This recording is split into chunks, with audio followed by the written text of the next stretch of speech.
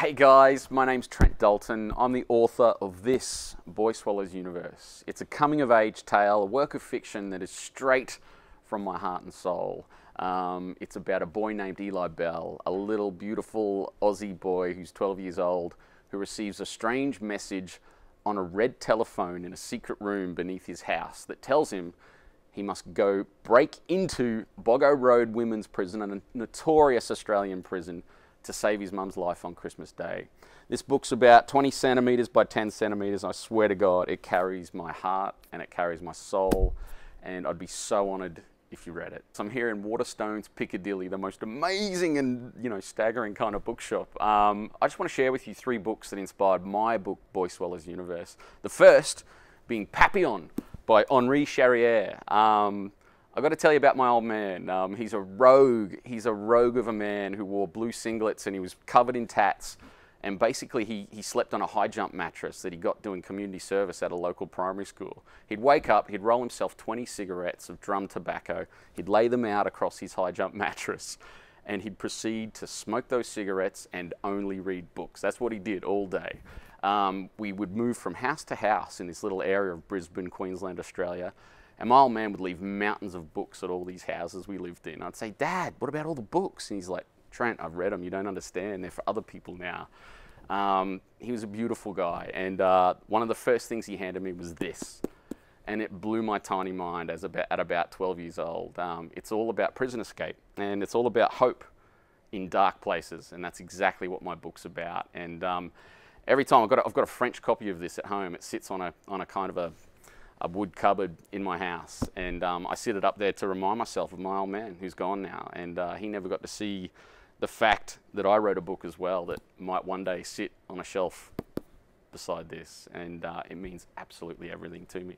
All right, guys, I'm down in the fiction section now because I want to tell you about this book right here Steve Toltz's A Fraction of the Whole. I've got to go right back. I've got to go right back to the earliest memory I have. Um, I'm three years old. I'm, I'm in a yellow and brown t shirt. I'm on a brown leather lounge. I look at my thumb, there's a freckle on it, and that's right here.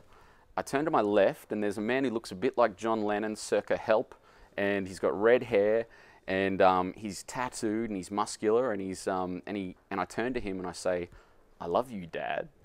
And then he turns to me and he sort of ruffles my hair and he says, "I love you too, mate, but I'm not your dad." This is my earliest memory, and that was a guy that my mum had fallen in love with who happened to be a dangerously successful heroin dealer across across southeast Queensland.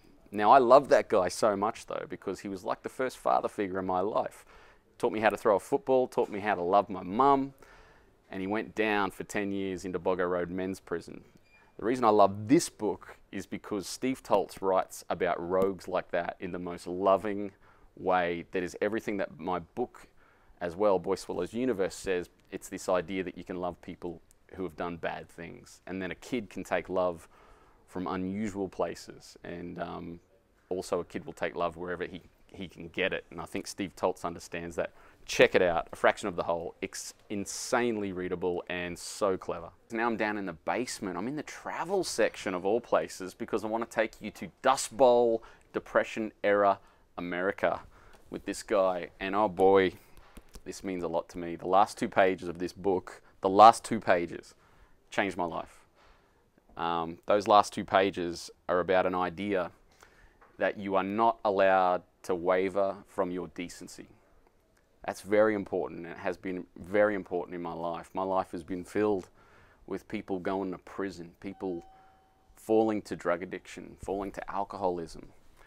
And this book tells you that you're not allowed to let your situation make you become a dickhead and uh, and it's an amazing lesson that John Steinbeck has given all of us. Um, there's an act of generosity in the last two pages that kind of changed the way I think about humans. That's how big this book is to me. Um, I'd love you to read it, and then I'd love you to read Boy Universe because so much of this is in that book. Thanks for listening to my three books. It's been a joy sharing these kind of really inspirational people with you.